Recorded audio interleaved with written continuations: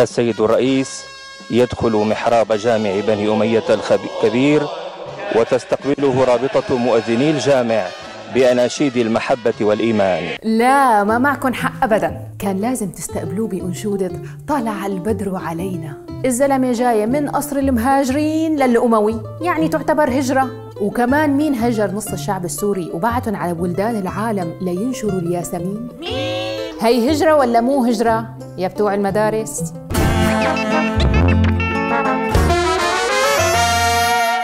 هذا الدين الذي جئت به يا سيدي يا رسول الله هو دين القيم فوضعت قيما ناظمه ضابطة. ولم تضع خلافة داعشية ولا إخوانية ولا عثمانية بائدة. ولكن خلافة أسدية على منهج الاشتراكية. يعني بربك يا عبد الستار ضروري تدحش السياسة بذكرى مولد النبوي. احكي لنا عن قيم النبوة كيف طبقناها بسوريا حتى نجاكر العثمانيين والإخوان. من قيمك يا سيدي يا رسول الله أولا وقبل كل شيء الحرية.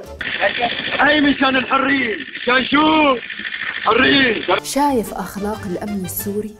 ببلاد برا الشعب هو بيطالب بالحرية. أما بالنسبة لنا نحن الأمن بيجيب الشعب وبيجي بيسأله. بدك حرية؟ وبعد الحرية العدل. إذا من ناحية العدل فحدث ولا حرج. يعني النظام عادل مع كل اللي ضده. المعاملة وحدة لأنه العدل أساس الملك. المساواة. رأينا في الولايات المتحدة الأمريكية منذ أشهر كيف أن الأبيض داس على خد الأسود موتا موتا حتى قتله. حلال وهي حلال هدول الغرب جماعة عنصريين بتلاقي الأبيض عم يدوس على الأسود. عنا ما في عنصرية. يعني عنصر الأمن الأبيض بدوس على المواطن الأبيض. الحمد لله كل شيء إلى العنصرية البغيضة. أما الحوار فقرآنك من بدايته حتى نهايته. دعوة للحوار مع المخالف. الحكومة. آه لك يا ابن الدجال بدي احكي معي ما بدك تكذب النظام تعال بالنظام. شو بدك هرو شو بدك هرو لا نحن بالحوار ما عنا يما ارحميني نحن منموت بالحوار.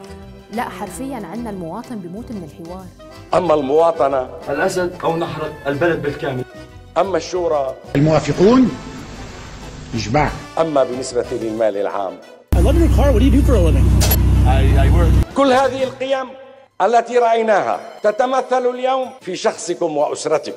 فأنتم القدوة والمثل. بوركت يا سيادة الرئيس.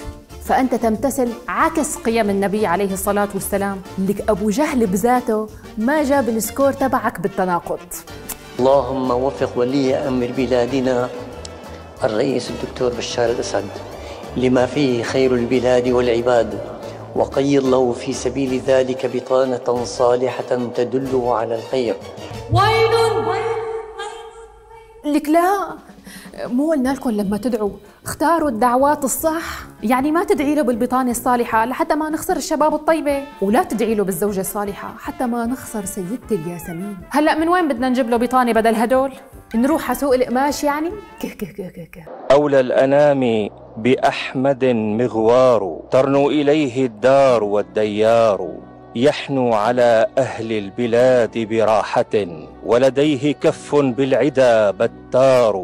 فهم الرسالة عزة وكرامة ومضى على ما خطه المختار. فهو الذي لظلامهم قهار وهو الذي لضيائنا بشار. القصيدة رائعة بس اسمح لي عدل عليها شوي. أولى الأنام بهتلر بشار ترنو إليه جحافل الفجار. يحنو على قصف العدو براحة وعلى الشمال قذائف ودمار. باع البلاد ببحرها وببرها للروس والإيران بالدولار. أعطيها ألف ليرة.